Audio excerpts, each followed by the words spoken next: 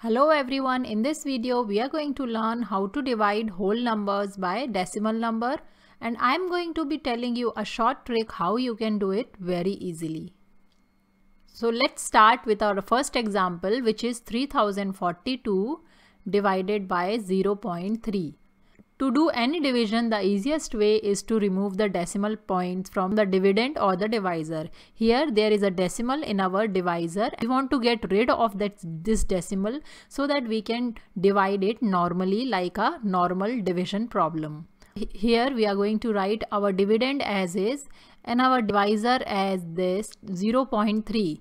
Now to convert this divisor into a whole number, we need to get rid of this decimal. For that we need to multiply this by 10 as, as there is one digit after the decimal point. So we will multiply this by 10. But as we are multiplying this by 10, we need to divide this by 10 to, to make the question unchanged or to make the value unchanged. Our first step is to here. Now 3042 divided by this 0.3 times 10 will become 3 and this 10 will be there in the denominator.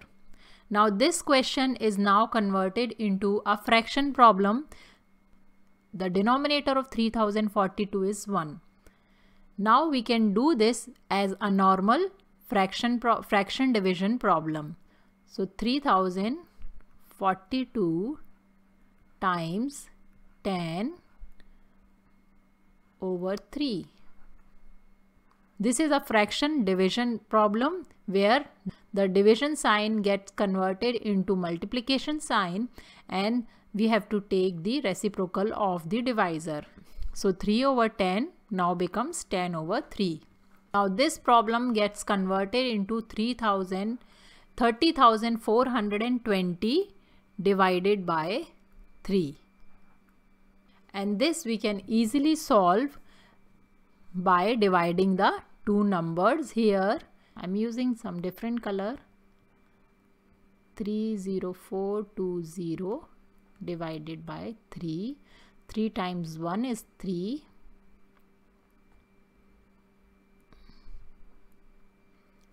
this is 0 then 0 as there is a 0 then we'll drop down 4 so 3 times 1 is 3 then we'll drop down 2 so 3 times 4 is 12 this is 0 and there is a 0 at the end so we have to add a 0 here. So our answer is now 10140 this is our final answer. So this is how we can do decimal division very easily by using this short trick. Now let's move on to our next example. Here too we'll do the first step which is getting rid of the decimal in the divisor. So here as there are two digits after the decimal points we are going to multiply this number by 100 to get rid of the decimal point and as we are multiplying it by 100 we have to divide it by 100 too. So now this becomes 405 divided by this 0.05 times 100 is going to be 5 over 100.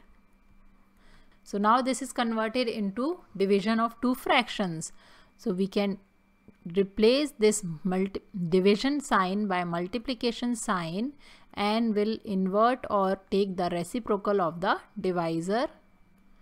This is now 40,500 divided by 5 which we can solve by normal division. So this is 5, 4, 0, 5, 0, 0. 5 times 8 is 40 so this is 0 and we'll drop down 5 now. So 5 times 1 is 5.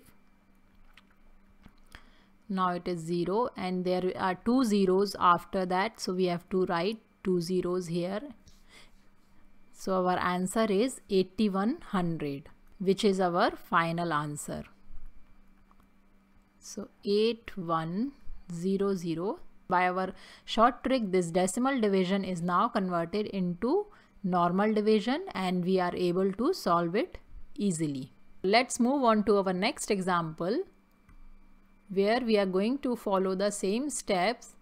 So to remove this decimal point from 1.6 we need to multiply it by 10 as there is a single single digit after the decimal point so we have to multiply it by 10 and as we are multiplying it by 10 we have to divide it by 10 to to make the value unchanged. So this will become 272 over 1 divided by this 1.6 times 10 is 16 over 10 now these are two fractions which we can easily divide by replacing this division sign by multiplication sign and by taking the reciprocal of the divisor. So our question is now 2720 divided by 16 which we can do by normal division as 16 is the divisor and 2720 is our dividend. So 16 times 1 is 16. So this is going to be 9 and we'll drop down 2. So 16 times 7 is 92. So this is 92 and there is a 0 at the end so you have to put a 0 here in the in the answer 170 is our final answer which we have done by normal division or simple division without the decimal. So I hope this method is helpful to you and you will be able to divide whole numbers by decimals easily. Thanks for watching.